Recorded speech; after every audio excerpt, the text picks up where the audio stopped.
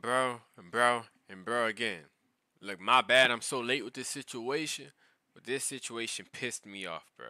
Let me tell you about my night about watching this Mike Tyson versus Jake Paul fight, bro. First of all, I got my girl over. We chilling, we chilling, we chilling. You know, chilling. We watching all them lame fights. You know, we wasn't really wanting to watch those fights. We just kept going to you know you watching YouTube or she was watching you know different we were watching different things until the fight came on. But then some girls started fighting or whatever, and that was a good fight. That was a good fight. I wanted Caitlyn to win, but then after we watching the fight, I was like, dang, the other girl did. You know, she was kind of robbed for her stuff. But that fight was the best fight of the night. Okay, I give it to them girls. Them girls know how to throw hands and they know how to throw headbutts. But look, what we came here to talk about is Mike Tyson, and we came here to talk about YouTube, bro. YouTube, not YouTube, Netflix, Netflix.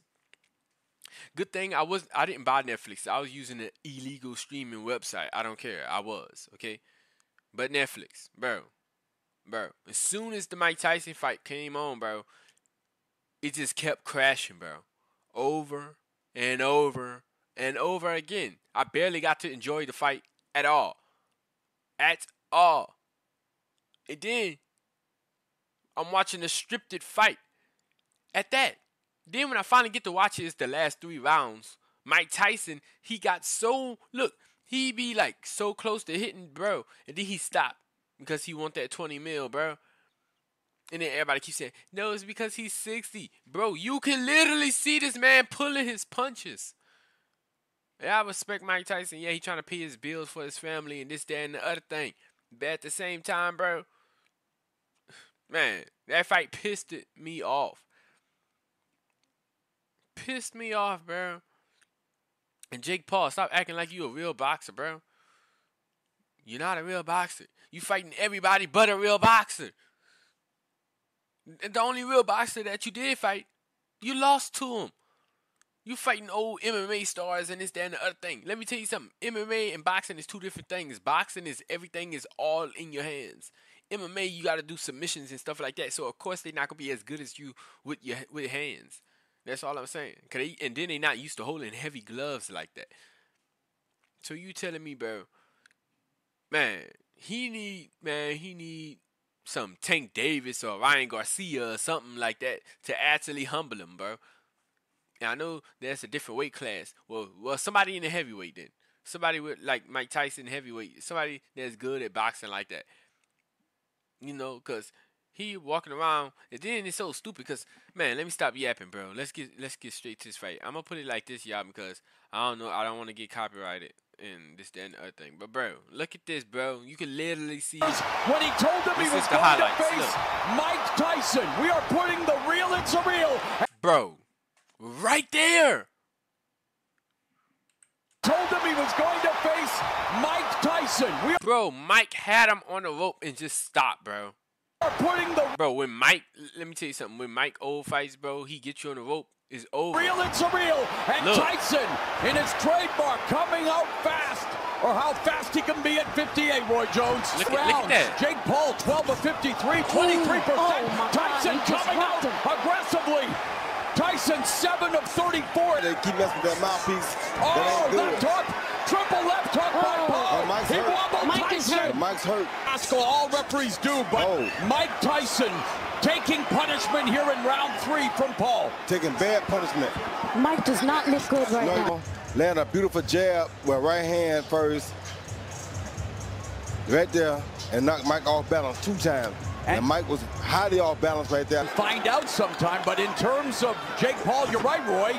He's he's turning into a boxer. Yep. Oh, good oh. shot. That, that that's what I'm saying. That look right there, like real Mike Tyson, bro. He would have been on his. Getting the left hook. Good shot by Mike. Back. Paul looked down and come over with overhand right. Wow. Right on Tyson's nose. Good shot. A little bit lower, might have ended the fight, but that was a good shot. Looked like it hurt Mike a little bit. And then you see a left hook right there that was partially blocked by Mike's shoulder. But then go Mike landing a left hook on the neck. Hit him clean and hit him on the neck. But what is left in Iron Mike Tyson? Does he have the one knockout left in his arsenal? Fight.